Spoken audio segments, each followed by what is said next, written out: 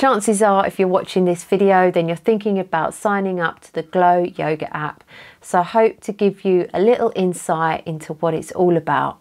I just finished a yoga every day for 30 days challenge where I did yoga every day for a month and I used the Glo Yoga app and I loved it. So I thought that I'd make a video review about it.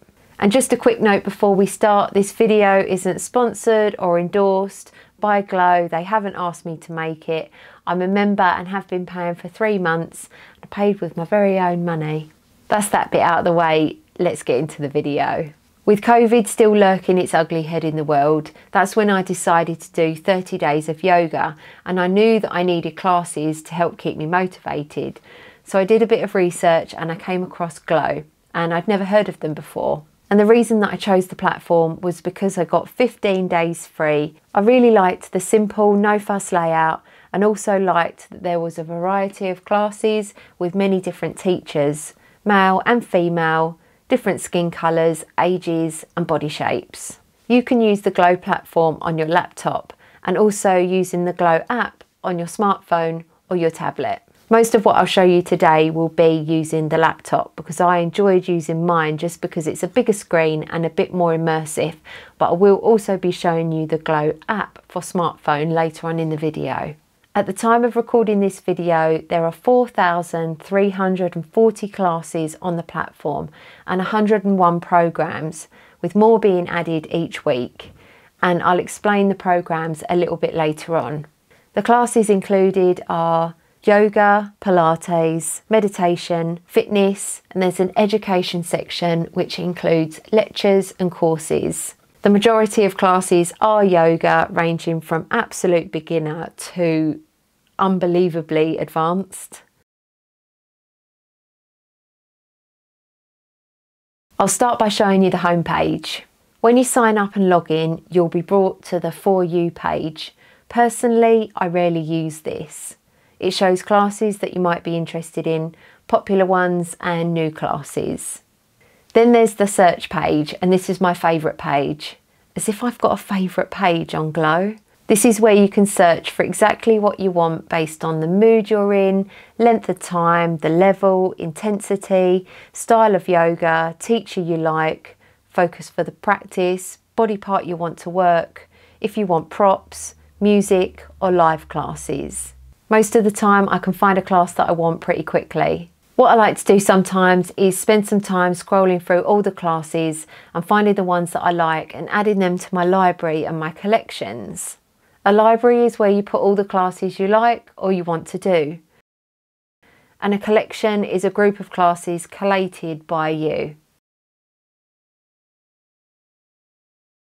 Glo also offer live classes and I have done a few, but generally they're at 4pm and 10pm UK time and I usually do my yoga in the morning. But I think all of the live classes get turned into on-demand classes. So if you do miss a live class, then chances are you can catch up with it later on.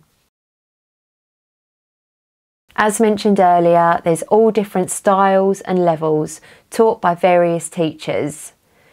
There are lots of beginner classes and I even made a collection of classes for my mum. And then there are the classes that are absolutely mega. Otherwise, keep the oh, elbows Are in. you joking me? Push up toward the scorpion, pause. I'll get involved and give them a good go, but mostly I end up in a heap on the floor. Ah. The main thing here is that there's something for everyone of all abilities and all levels, and I love that. Begin to straighten your right leg as you bring your left arm across your head. The programs are really cool. They are a selection of classes, usually about 5 to 12 classes, concentrating on specific subjects. And now's probably a really good time to mention the Pilates classes. There's 162 classes and seven programs, and I've never really done Pilates before. I couldn't really get into it, but I've been doing one or two classes per week, and I am really enjoying them kind of, and I'm finding they're a really great tool to complement my existing training. I've done some of the fitness classes and currently there's only 19 of them on the platform, but I really enjoyed what I did. And I've done some of the meditation classes as well, which there's 521. All of these numbers that I'm giving you, probably when you come to watch this video, there's going to be more just because there's videos being uploaded onto Glo every week. When it comes to equipment, most of the classes you don't need anything, you just need your mat. But there is the option to do some classes with things like blocks, a strap, some sliders and other bits and pieces. There is so much on the platform and there's never been a time where I can't find something that I really want to do. So with everything that I've showed you on the laptop, you can also do on the Glo app. You've got your search, you've got your library.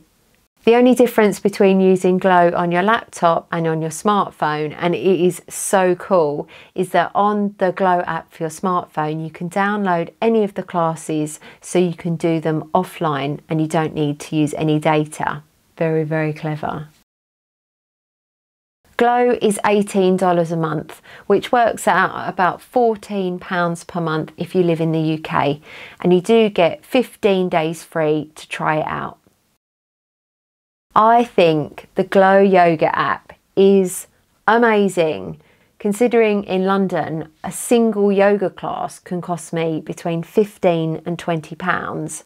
I'm now paying 14 pounds a month and I'm doing about 25 classes a month and I know it's not the same as being in a real life class, but with everything that's going on right now, it just makes sense for me to be at home, staying fit and healthy for only £14.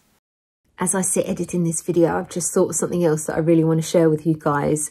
It's the fact that Glo offer lots and lots of mini classes, 5 to 15 minutes, which I think is amazing, especially right now when so many of us are working from home and probably not getting as much movement as we need. You can just go on, do a five to 10 minute class just to break up your day and just get a bit of circulation going. I've been editing this video for quite a few hours, so I definitely feel as though I need one right now. Even though my yoga every day for 30 days challenge ended 10 weeks ago, I loved it so much that I decided to keep my membership rolling and I'm still loving it. Honestly, this is one of the best purchases that I've made in a long time and I'm so grateful that I found it. So I'd say if you're thinking about signing up to Glo, then just 100% get stuck in, get involved and sign up to the 15 days free. And then if you love it, then it's really not going to break the bank. You can do it anywhere, anytime, and you've just got thousands of classes to choose from. And you're going to stay fit and healthy and have a healthy mind as a result. I really hope that you enjoyed this video and that you found it useful. And if you've got any questions about the Glo Yoga app, then please put them in the comments box. I really enjoy making videos about living a healthy and cheerful life. I do product reviews, challenges and adventures. So if you're interested in stuff like that, then consider hitting the subscribe button.